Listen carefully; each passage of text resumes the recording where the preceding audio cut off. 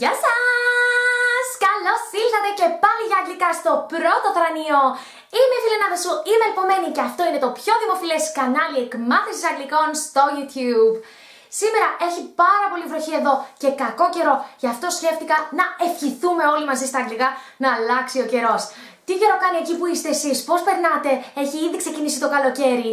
Πάμε να μου τα πείτε κι εσείς, να σας τα πω κι εγώ. Ευχές στα αγγλικά, πάμε να ξεκινήσουμε.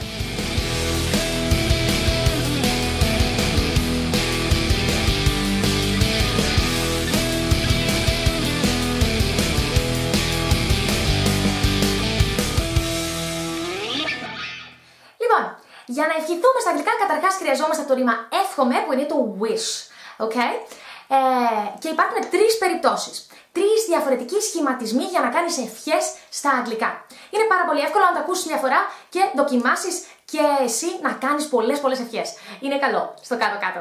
So, την πρώτη περίπτωση είναι, θα τη χαρακτηρίσουμε η απλή περίπτωση, ok? Η περίπτωση που θέλω απλά να ευχηθώ κάτι για το τώρα ή για το μέλλον, γενικά για τη ζωή μου. Κάνω μια ευχή. So, Λέω για παράδειγμα I wish it was sunny. Οκ; Είπα έχει πάρα πολύ βροχή και εύχομαι μακάρι να είχε ήλιο. Οκ; Δείτε στα ελληνικά να είχε ήλιο. Λέμε παρελθοντικά. Οκ; Παρότι μιλάμε για τώρα και η ευχή είναι τώρα, πραγματική ε, ευχή. Οκ; Στο το ίδιο στα αγγλικά. I wish it was sunny.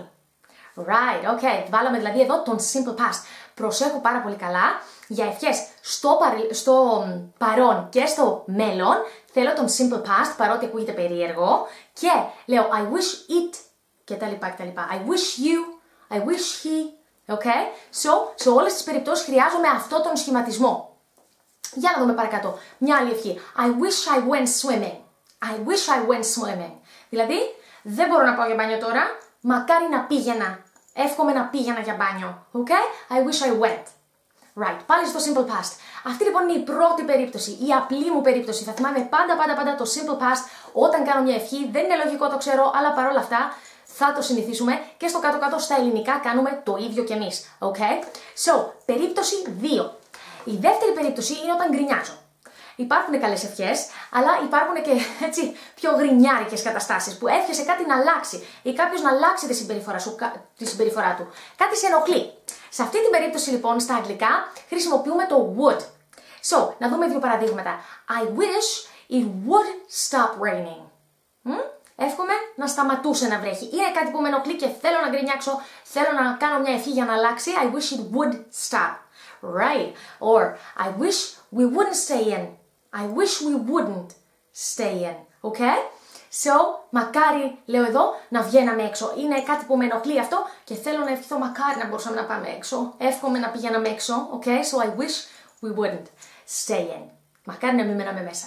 So, δείτε εδώ, το would είναι ένα από τα modal verbs, έτσι, σαν could, may, might κτλ. κτλ. Τα έχω πιάσει κάπου σε ένα άλλο βίντεο, για βρείτε το κι αυτό. Ε, στα modal verbs λοιπόν μετά ακολουθεί πάντα απαρέμφατο. Απαρέμφατο δηλαδή η λέξη σκέτη όπως είναι. Ε; I wish we wouldn't stay, είπα πριν. Ή I wish it would stop raining. Δεν χρειάζεται ούτε κατάληξη, ούτε χρόνος, ούτε τίποτα. Όταν έχω ένα από τα modal verbs. Όπως και σε αυτή την περίπτωση με το web.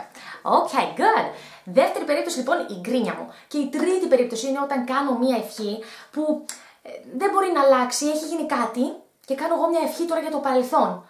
Δεν μπορώ όμως να τα αλλάξω, έχει συμβεί. So, σε αυτή την περίπτωση, για δείτε, ας πούμε, έχει περάσει τώρα το Σαββατοκύριακο, σε μένα που έχει κακό καιρό, δεν πήγα πουθενά και λέω μακάρι να είχαμε περάσει ωραία.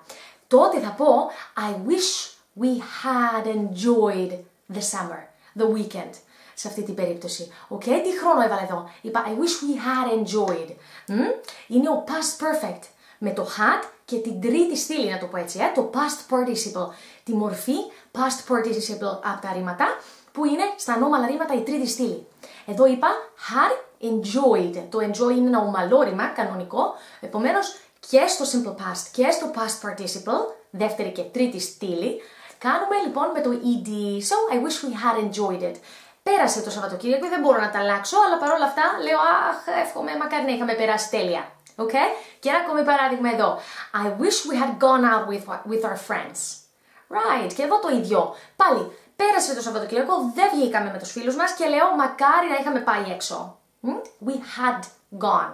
Πάλι με το past perfect.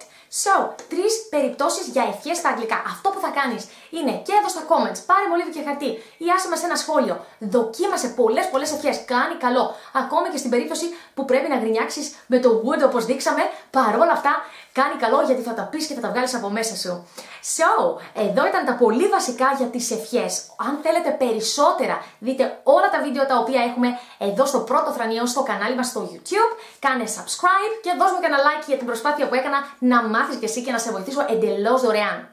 Courses, live μαθήματα, online μαθήματα, όλα αυτά θα τα βρεις στο www.stopρωτοθρανείο.com Τόσο τόσο απλό. Μπες να δεις όλα τα courses που έχουμε για πιο advanced, για έτσι, ε, με μεγαλύτερη διάρκεια, κανονικότατα μαθήματα με τα βιβλία σου, με τα homework σου, με όλα χαλαρά από το σπίτι σου στις πιο τέλειες τιμές της Ελλάδας.